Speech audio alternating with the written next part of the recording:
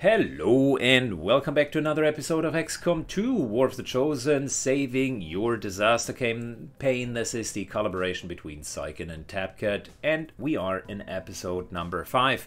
Tapcat has just finished the last mission and he told me that he had a couple of surprises such as the upgrades of the weapons. Good job man uh, and he reserved an extra doozy for me, recover an item from an admin facility.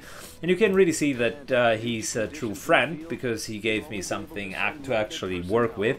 In this case, uh, number one, there is the always beloved uh, mm, SitRep surgical, which reduces our squad size to three.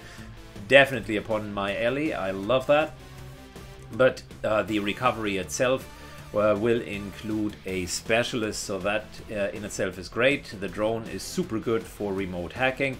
Whenever you go into such a mission uh, where you have limited turns available, uh, keep in mind that not needing to run to the actual objective is a huge boon in your favor. So this is actually a fantastic team, uh, giving the tracer rounds also to our uh, to our grenadier as always, I uh, play with whatever uh, has been given to us, um, so uh, this is actually a really decent uh, looking start for the three of them, which means we are going to go in. Magnetic weapons upgraded. Let's get this party started. And we're going right into the mission. Here we go. Good, we're landing. Let's give that a go. Oh, nice. We're on the graveyard, one of my absolute favorite types of maps, because it is a reminiscence on XCOM 1, where you were fighting on the graveyard. Nine turns, which is not a lot, because if we look, uh, that's one full move, two full moves, three full moves uh, to even get there. Medium difficulty mission means around 10 to 12 enemies that we're going to face, so uh, this will actually be relatively ambitious to go through it.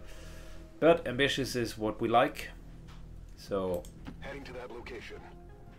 Steel is going to scout. We do have the teamwork as a fallback. I want to take the high ground and essentially fight from there. So we're pushing in as far as we can. And Jester moves up as well. So far so good. Turn number one. Not very exciting, but we are seeing the first enemies. Vipers are bad news. Really bad news. Moving to position. So we carefully move up. Very good. Don't want to stand too close to one another because the Viper typically can use uh, their poison spit and that will be a problem but I tend uh, or I intend to eliminate uh, them right away which should mean we're not going to have a large problem. Um, we'll do a classical Overwatch trap. Or, uh, mm, one Overwatch plus 100% shot, 50% crit chance. Maybe we're even lucky. Yep, Viper immediately goes down.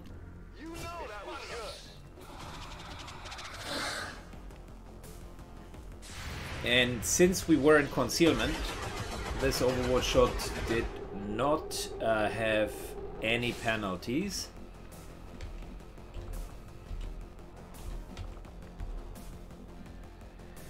Sectoid's not really good at shooting.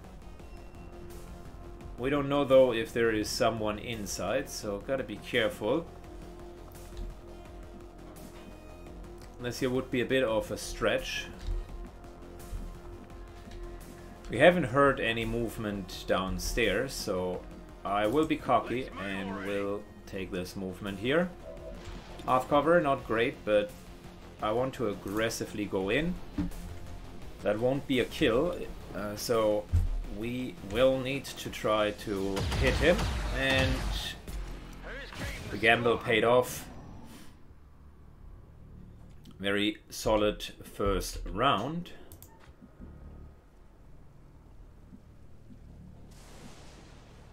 Now we can slow a bit down, which is much needed because you can already see we're triggering additional advent.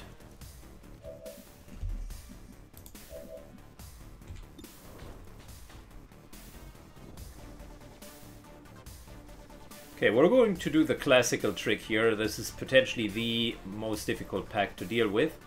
And what we are going to do is solid cover for both. Standing far enough away so that uh, the purifier doesn't use uh, their purification grenade. Hit on the mech uh, that shreds.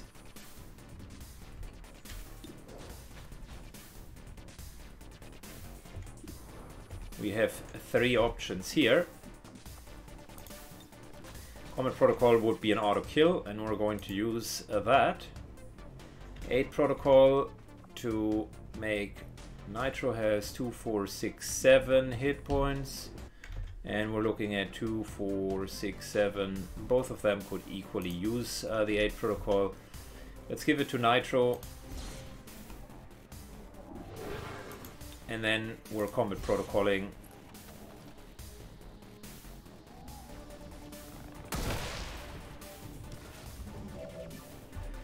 Good, our chances here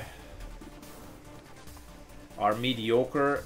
We could hand over teamwork and actually get a few better chances.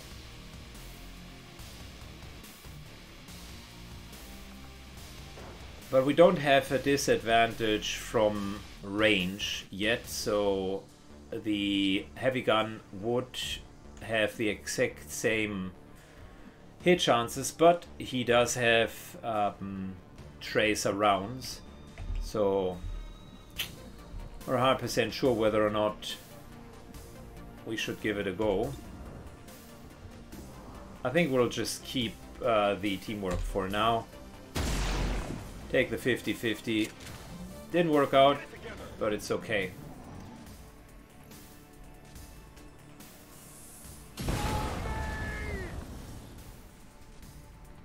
Yeah, half cover isn't really protecting that much. Incoming fire. That one hurt a little.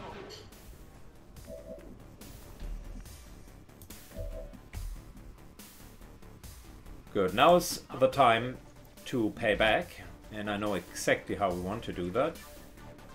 Finding a turret. Okay.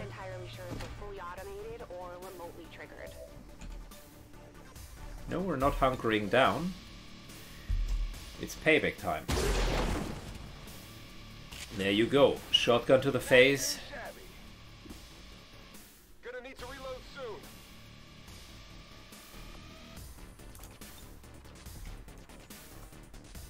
Two, four, six. Yep, that is a kill. I just realized we have Combat Protocol instead of Healing Protocol. So we're moving up. Always continue to move whenever, uh, whenever you need to. In order to reduce the problems here, we're now using the teamwork that we saved. And we're hunkering down.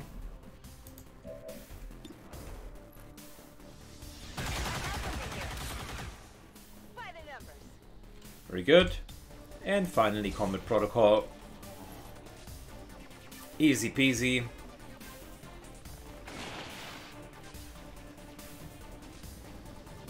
Oh, look at that.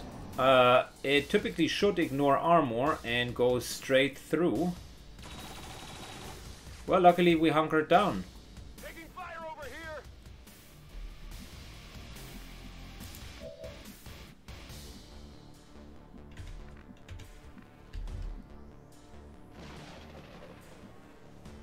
Five more turns. I am greedy and I want the loot.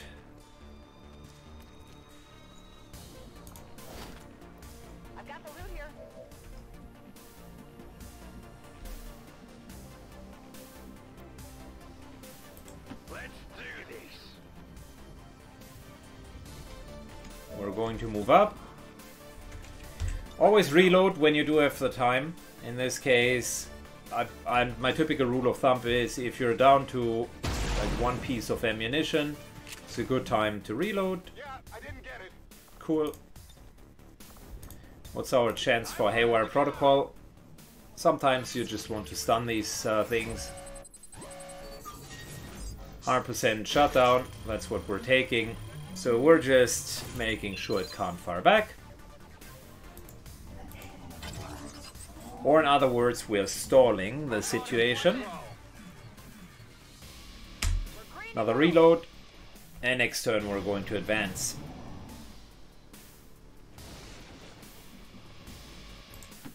Moving up would be so much easier with actual healing protocol.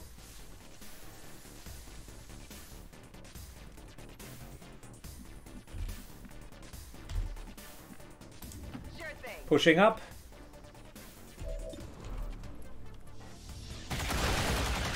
This solves our problem with the turret. Good. And now a classical mistake could be or just running up, trying to get as far as possible. But at the end, you should just play it safe. There's still a third pack, and we don't want to trigger it. Three turns. Plenty of time for us to get there. If we were in time trouble, I would just explode this uh, with our grenade and use uh, the remote hack to get there. Moving up with full cover. I'm all over it. Affirmative. Covering now. Overwatch. Curious to see where the last pack um, is located. I can handle that. Steel moves up.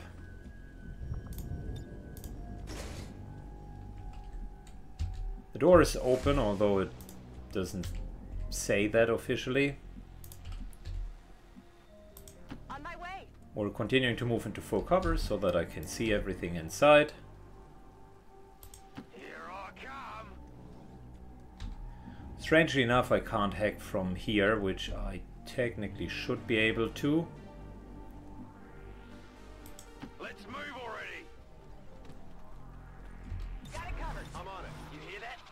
Okay, last pack is around the corner.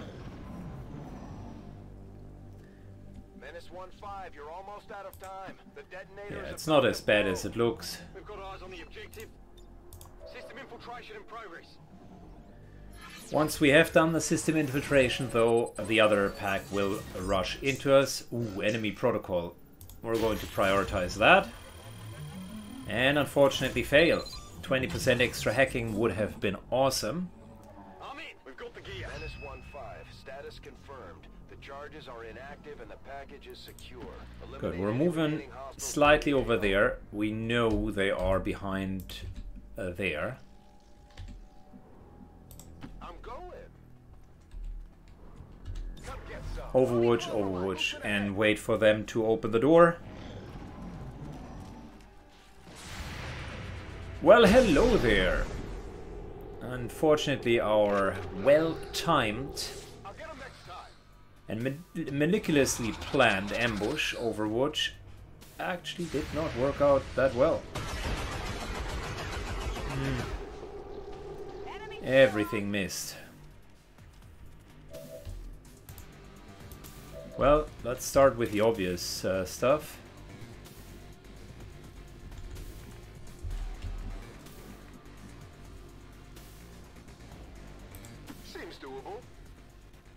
Moving into full cover. There's a good chance that this here is a 100% kill. Fortunately, it is not.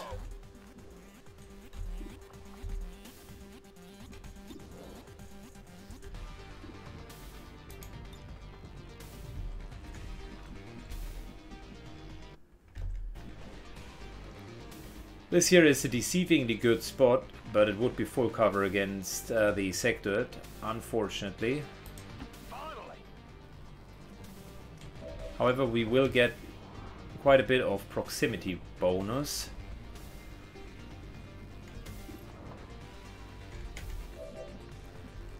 Also can't fully move over there.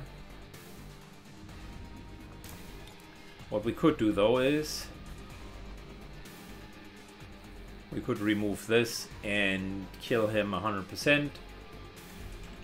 Reload to make that work. The other option is we're hitting both of these clowns and we're just going to take a mind spin outside. So, matter of the fact is, we will only be able to kill one. Maybe two. And heavily injured uh, opponents hit just as hard as other opponents, so whilst the other play would remove cover, we still have a flanking uh, situation. This here could be a kill. It's not, but everybody from our side is in full cover and they can't reach us. Which means they will bring their A game and use mind spins in one shot. Kill! Kill! Kill them all! I'm looking ugly over here! Of course.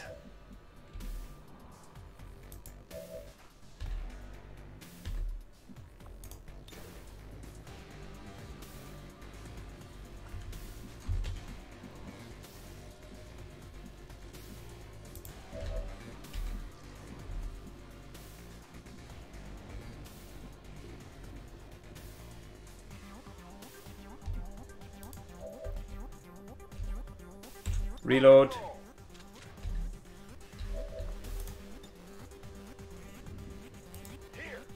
That's 100% kill. Plus cover removal. We're getting mind control back. Make sure that aid protocol goes on to our injured uh, soldier. Again, healing protocol would have saved us a lot of problems. Nice little crit. Into another crit. No, normal hit, but uh, that's a kill. We had an advanced stock, so we would have killed him anyways. Yeah, we took some beating, which was to be expected without the Mimic Beacon or anything else. If the engagements do not go absolutely according to plan, you will get a retaliation. And the problem in this case is we don't have armor upgrades, so retaliations could mean in some of the instances that we're losing a soldier. But yeah, that's also not the end of the world, it's part of XCOM. Good work out there. We're taking run and gun. Phantom and Shadow Strides is not a good ability, really. 47 days gravely wounded. Okay. Well, we're not going to see him anytime soon. But we got an autoloader, an expanded magazine, and the laser sight, which is way more than we could have asked for. Resources available to you, Commander. You have still managed. Rapid response uh, would have been um, would have been uh, reinforcements on each of uh, the missions. We got an engineer on top of that, which is great, really good news. So using that to continue clearing faster. And what else has Tapcat uh, done? Yeah, we didn't want to get that yet. Hunter's Axe is being produced. It seems that he ran into a new mission relatively soo- soon. Not much has happened. Increased region's income is one of the things that I like to do because it will give you income every single month and it typically increases it by like 30 to 50 depending on how successful you are. So this is uh, something that is underestimated. I personally like them a lot. We now got hunters uh, the hunter's axe. We've got the schematics, and our equipment is ready to begin assembly. Skulljack would be good, Boltcaster not so much, Frostbomb is not bad, we do have two cores, so I would say we're continuing with experimental ammunition. we're finished, Commander. Already got a spark, uh, which is good. I would also say, given that we don't have any urgent projects, that guy no longer works there. And instead, we are continuing to clear out more alien debris. Very good.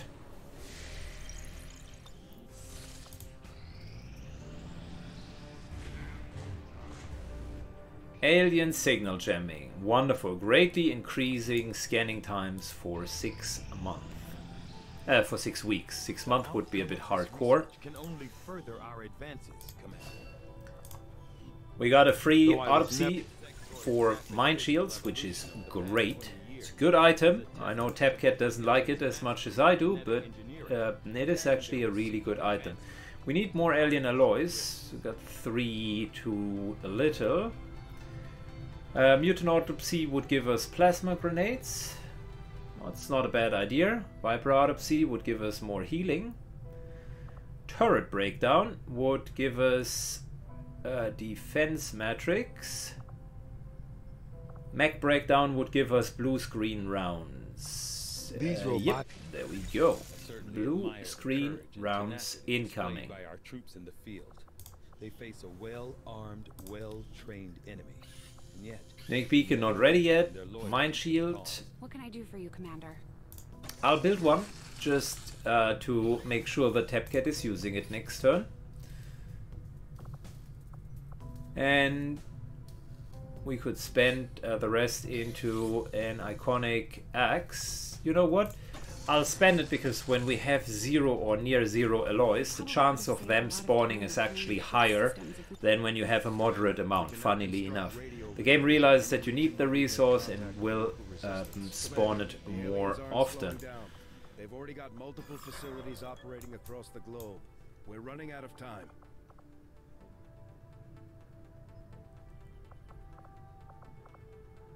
Intel. Oh yeah, I- we're we're just continuing what we're currently doing. Oh, look at that! Stop an Advent retaliation mission. Well, Tapcat will have fun with that. I absolutely love Advent retaliation missions. Now, let's see if we can find something that makes it interesting for him. So, what type of team do we want to give him uh, in order to make that interesting? So, for starters, I think it goes uh, mm, without saying that uh, we will run a bit of a robotic thing. Oh yeah, why not? Uh, one is take that, and the other one is called uh, character info, uh, first name take, and last name two. So we got take that, and we got take two. Uh, let's customize this. I want the color to be a bit more uh, darkish. Yeah, something along those lines. Looks a bit like the uh, T1000 of Terminator.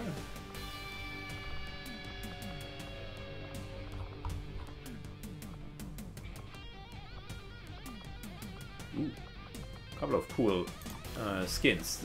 That looks good. So we got two mechs available, which per definition already is a good start. Now, what else do we want to take onto this mission? We're uh, taking a sharpshooter. Is Jester the guy who does not have medical protocol? We keep promoting him and he continues to not be able to heal. Is there someone with medical protocol? Crypto. Are you the, uh, the real deal? Common protocol, not the. Ugh. Duranx. Medical protocol. See, there you go. You just need to have the right um, the right people. So this time it is Duranx, uh, albeit we want a bit more color coding. To make that the official color coding of XCOM 2. And maybe a little bit less shirtlessness would be great. Oh boy, you could go in all shirtless.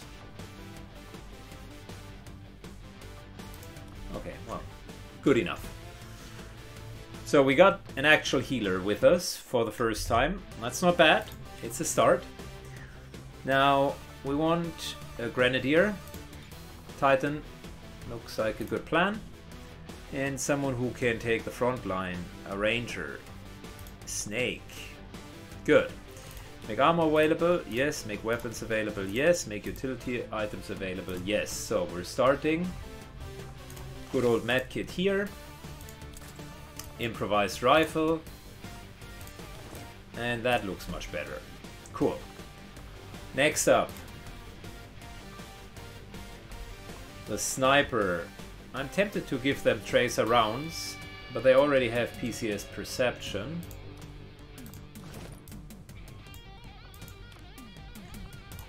We'll give them the enhanced Shadow Keeper, which in itself is good because that gives them a lot of aim. They're actually doing very well for themselves. And I would give them a flashbang grenade uh, to be able to move and then also throw the flashbang. Now, Snake gets the Mind Shield. I know he will love that. I'm not even sure if he uh, realize uh, that I've given that um, over. We got the special weapons here, and Titan will be taking tracer rounds, upgraded magnetic weapon. She's doing good. Unfortunately, only one frag grenade, but that's okay for now. We don't have a PCS. We also got two robots with rocket launchers, so that in itself should be fun. Let's edit them real quickly and see. Here we got a scope.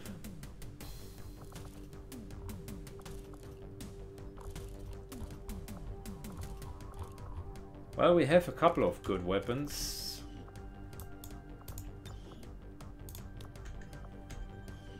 Can't yet take anything else. Weapon upgrade here. I think if we go with an advanced hair trigger, that's not a bad idea.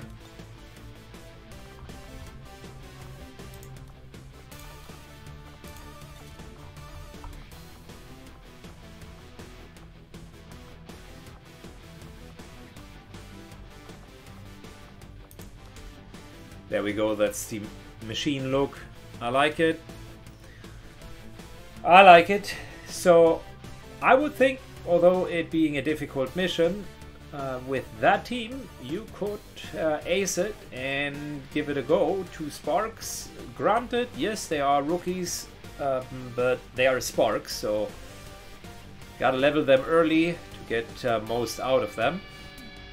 And we just have a power spike with all of uh, the DLC weapons, as uh, well as some of uh, the hunter uh, mm, uh, first DLC weapons. Uh, the axe, for instance, or the enhanced Shadow Keeper. Both of them are great. No, that looks good. I think we are done here for today. Thanks for watching as always. If you want to support the Resistance, then uh, think about clicking the like button because that sends new recruits uh, into our way and will continue the channels. Thank you and have a good one. Bye bye.